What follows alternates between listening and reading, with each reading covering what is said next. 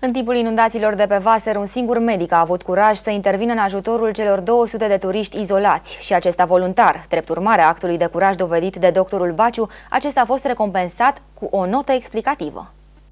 Medicul Baciu este singurul doctor care a urcat pe jos 42 de kilometri până la turiști izolați, drum greu, aproape inaccesibil. Cu toate acestea, pentru Emanuel Baciu nu a fost nicio problemă. A parcurs tot drumul în peste 10 ore, a ajuns la oamenii izolați în munți care nu niciun mijloc de comunicare. Doctorul a fost salvarea lor și și-a încheiat misiunea cu succes. Cu toate acestea, la întoarcerea în oraș, în loc de mulțumiri sau medalii, a fost informat că trebuia să dea notă explicativă. A lipsit de la serviciu. Ce contează că a salvat 200 de vieți? Din punctul meu de vedere, atâta timp cât uh, am fost uh, ca medic și am acordat asistență medicală uh, acelor 200 de turiști, uh, cred că fie că eram sau nu eram uh, în programul de lucru, eu mă consider că am fost de serviciu și mi-am făcut datoria, datoria mea de medic. În afară de dumneavoastră mai erau și alți medici pe munte?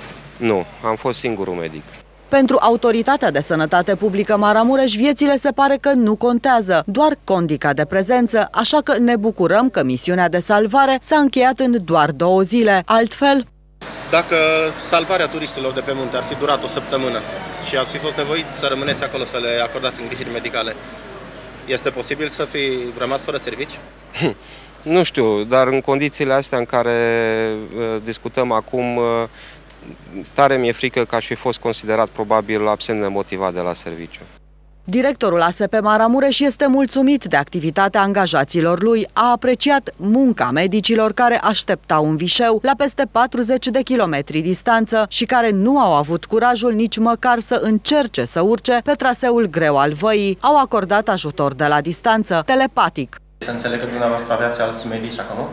Uh, erau uh, medicii în vișeu de sus, deci nu la nivel, uh, nu la nivel de mă rog, cabană unde au fost uh, persoanele respective.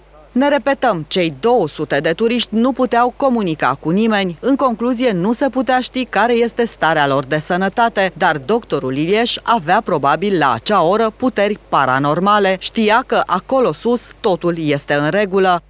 Prezența uh, printre cei 200 de turiști care au rămas izolați pe munte, considerați că a fost sau nu benefică?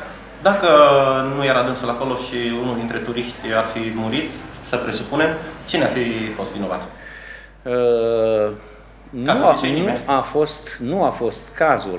Dar dacă ar fi fost într-o astfel de situație, aș menționa faptul că șapte persoane au necesitat îngrijiri medicale Salvezi vieți, te implici voluntar cu trup și suflet, îți riști propria viață, nu aștepți mulțumiri, nu vrei recompense, o faci pentru că ai depus un jurământ. Al lui Hipocrat, cel de care medicii care au ajuns în funcții de conducere au uitat, din păcate.